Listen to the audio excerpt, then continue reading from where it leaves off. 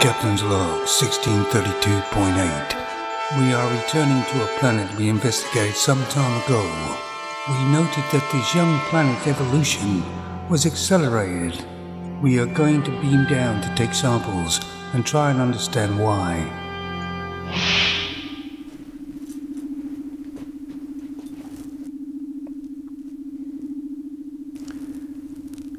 Put us down on the planet's surface, Scotty.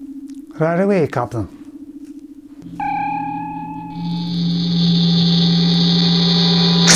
Jesus Christ!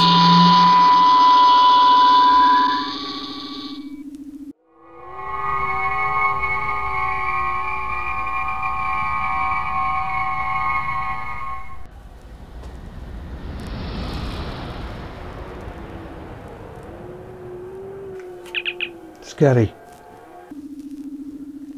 Are you alright, Captain? Yes. We're on the planet's surface. We're going to scatter around and take some samples. Maintain the usual away team protocols. Will do. Well, I think it's best if we split up and we can get more samples that way.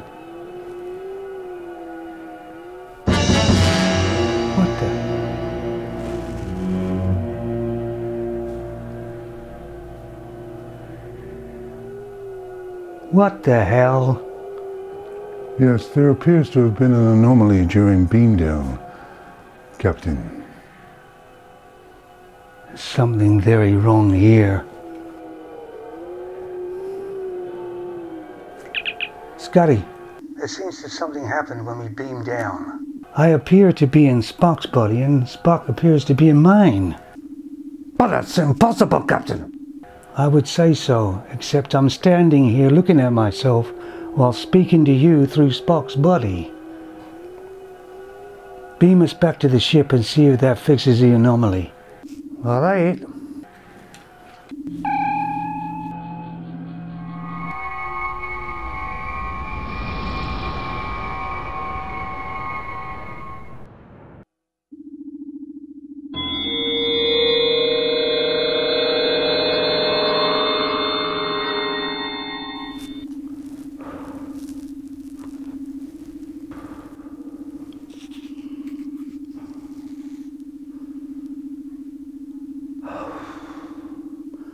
Thank God. Back to normal. It's hardly normal, Captain. I was standing over there a couple of minutes ago, and now I'm standing here looking at myself in what appears to be Spock's body hack I. Fascinating.